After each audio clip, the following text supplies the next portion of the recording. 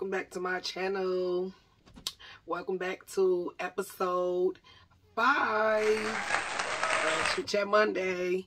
We are at episode five. Um, I hope everybody doing good out there.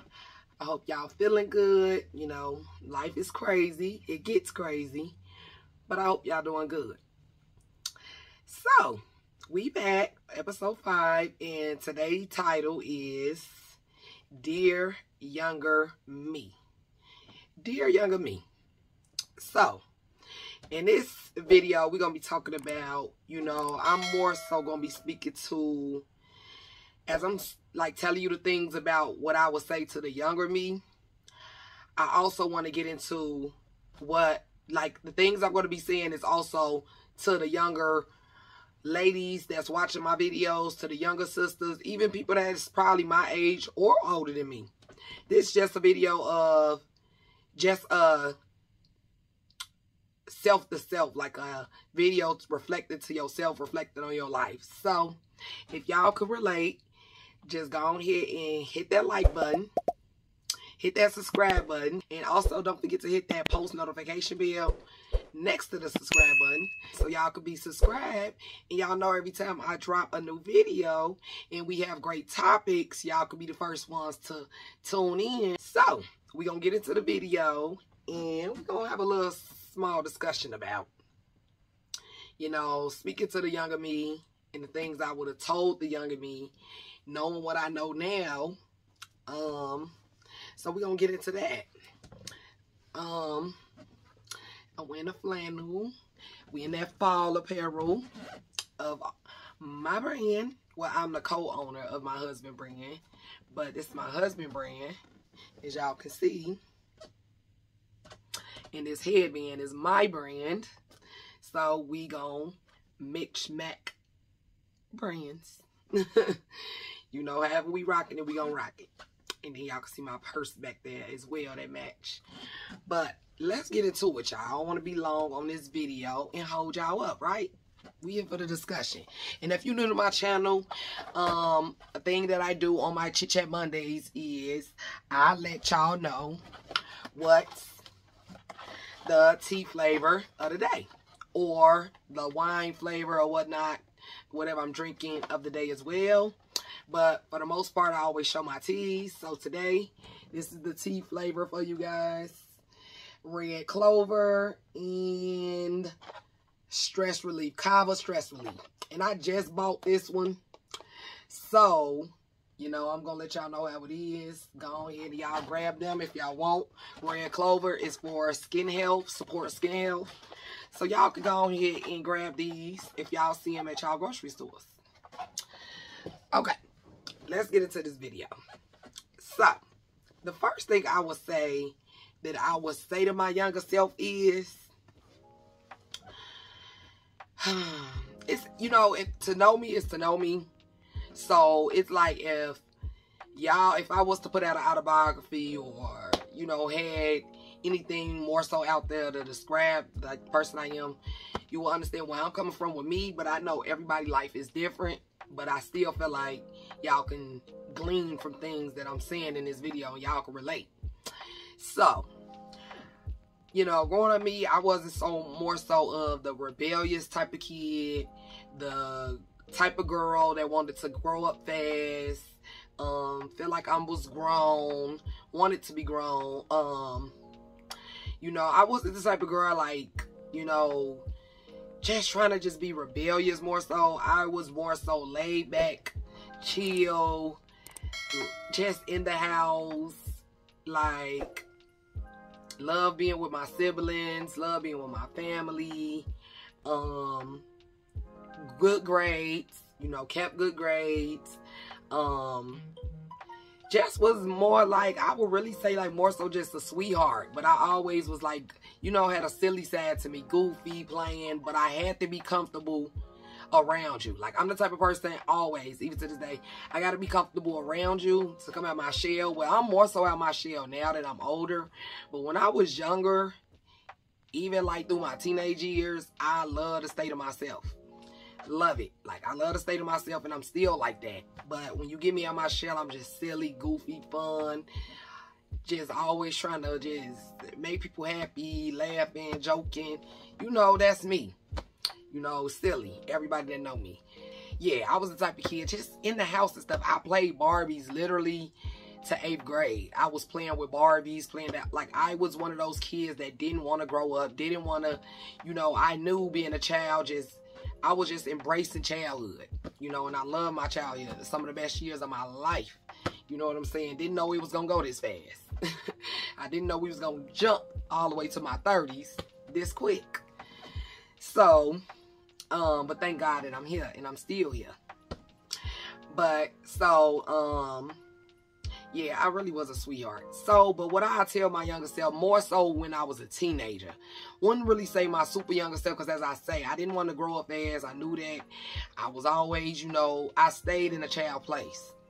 Yeah, that's really what I did. I stayed in the child place, you know. But um, in my teenage years, that's when things shifted. And what I can say to my teenage self is, oh my gosh. First and foremost, don't you don't let nobody nobody see the, the thing about me that's what I'm saying. I'm just speaking to younger girls. I want to tell y'all this. But what I seen, either what I experienced from seeing it through other girls and other people around me or myself. But for the most part, let me just tell y'all what I seen. A lot of girls went for the peer pressure, went for the trying to be grown before they age, trying to do adult things, you know, that you should have been doing at a young age. Um, cause all those things led to a lifestyle that I know a lot of girls regret today. You know, a lot of girls regret. I'm talking about having intercourse, sexual intercourse early on, um, children, babies, um, probably STDs, um,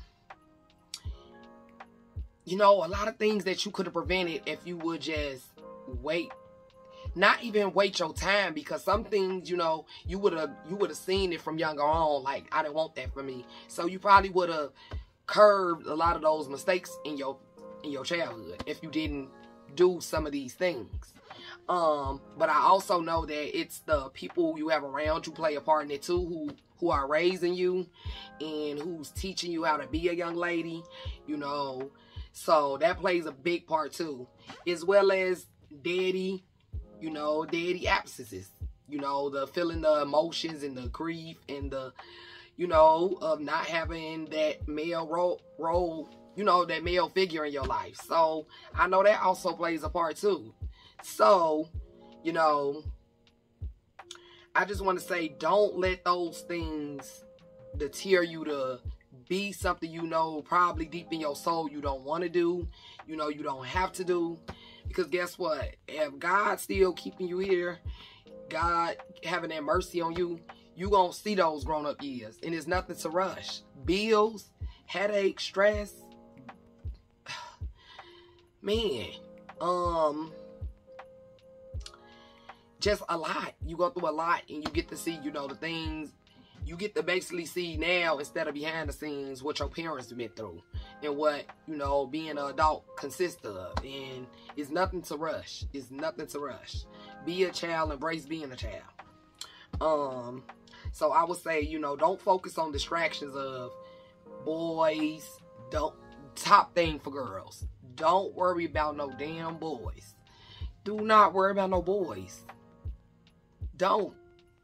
Anywhere you go you know, y'all need to be learning. Y'all also need, first and foremost, y'all need to get close with God. Always had a relationship with God. First and foremost, over anything and over anybody, even yourself. You have to see God the right way. So, the right people need to be around you to teach you how to know about God, how to love him, how to serve him, you know, because that's that's what's going to teach you everything, you know. If you read the Bible, you know, for the most part people read the Bible um or try to read the Bible. That's what I'm trying to say. Like they got some they thinking they have some kind of religion that's about, you know, the Bible. Um but if you really read the Bible and know it the right way, you will know God will tell you how to, a young lady should treat herself and should act and should go about being a young lady. Y'all can read Proverbs 31. He will tell you. He will tell you a couple things you need to know as a young lady and as you grow up into a grown woman. So, first thing first, yeah, don't worry about boys. Don't. Don't worry about them. You need to be worrying about having a husband later on in life when you're of age, seeking you a husband. Um, then going to having children, making a family once you feel like you're established. You know, you do that with your husband because all you gonna prevent all that other headache that I just described that a lot of girls probably regret right now to this day. You gonna regret, you know, you can go skip past. Do you? It's like, it's like the game life, the board game life, or Monopoly. Something, not even Monopoly really, but I'm just trying to describe the board game where you can skip past that part. You can, you can literally avoid that. You can avoid dealing with STDs, preg unsuspected pregnancies, um, you know, heartbreaks, and just things you don't need to be worried about as a young lady. So, don't worry about men, boys, whatever. Don't worry about it. So then you won't be worried about sexual intercourse, none of that. You say that for your husband. Then, that's first and foremost, you know, after seeking God. Um, what I seen in a lot of people is don't don't be out here you know, rebellious to your elders. Don't be out here disrespecting them, not having manners and respect because, listen, first of all, God sit up high. You want to get judged. Whatever you reap, you gonna sow. So y'all out here thinking you're gonna get away with disrespecting your parents, your elders, you know, they're telling you the things that they tell you. You might want to hear what adults got to say because you feel like, oh, they trying to just, I don't know. I don't know why kids got a sense of thing thinking adults trying to control them. You know, uh, for the most part that I know if you really have real true adults in your life, they just trying to tell you what they've been through and trying to make you avoid it. The same way you watching this video right now and I'm telling you what you need to avoid. You know, because I seen it. For most things, like I told you, I was really like a girl that was always in the house not trying to rush. Um, like I say, once I got to teenage years and early, you know, adolescent years, my adult years, that's when I start making the like mistakes that I'm like, why are you doing this, child? But for the most part, no. I was trying to be a kid, you know. Um, but just, you know, I made a lot of mistakes that I, we all would wish we didn't do or did different. So, that'll be that. But for the most part, I seen a lot. I seen a lot through girls and um where they messed up at and where we all messed up at. Where we all, you know, we gotta take accountability as a whole. That's another thing. But yeah, you just gotta stay focused on what's right, not all that extra stuff. Um at all. Don't be focusing on that extra stuff because listen, the way life is because you know, like I say, know the Bible, God tell us it's not no one who didn't commit a sin. It's no one that didn't commit a sin besides Christ, you know, besides the Messiah. That is the only person didn't sin. So, with that being said, we all gonna fall. It's all gonna be it's gonna be moments in your life you may slip up, do some crazy. But I'm just telling y'all what y'all a lot of things that I feel like you can have some sense of control. You know, um, make sure you dressing like a young lady. Don't be out here dressing scantily clad. Don't be out here dressing immodest. Don't be out here dressing shameless. You know, dress with some modesty. Dress with some morals. You know, dress with some respect. Like, a lot of people don't know. Respect is not just something that, you know, anybody else can give you. Respect start with you. So, if you don't respect yourself, how is the world going to respect you? And that even includes your apparel, your appearance. That even including your appearance. Don't y'all know what y'all know the saying. Like basically like the saying where, you know, what you give out is what the world gonna perceive you to be, right? So if y'all always in that makeup, the weave, the this, the that, the glam of these this day and age, the skinny attire, the bras, the panties outside, the see-through lace clothing, the skin tight clothing, what y'all think somebody gonna think what you is? Now be honest with y'all. What y'all think somebody looking at you as? They either looking at you as a person that is a what they used to call it a, a escort. You're looking like an escort. You're looking like, you know, uh, the, um, the uh what is it called? The um it's like a saying. I'm always trying to think of a saying because they be going a statistic like basically like a statistic of your people. You're looking like ghetto trashy hood rat i can't say certain words because we on youtube but i i'm very intelligent so i'm a fill in a word that i know youtube probably gonna block me for um you know you're dressing like a the upside down number four zero three that's what y'all looking like. Y'all, if you know, you know. Pull out a calculator. Okay? Turn your calculator upside down after you put in, I forgot which way you put it, but it's the number 403. Okay? But y'all dressing like that. Y'all know what I'm saying. You know, the world gonna only give you what you put out. Y'all know this. This is not the first rodeo. Five people. We done been through different centuries, different stages. So if you want to prevent prevent things that you don't want happening to you or you know the negative attention onto you um hatred drama you know all that's gonna come with repercussions of your actions. So you, if you dress like that that's typically what's gonna come to you a higher percentage than somebody who's dressing in modesty.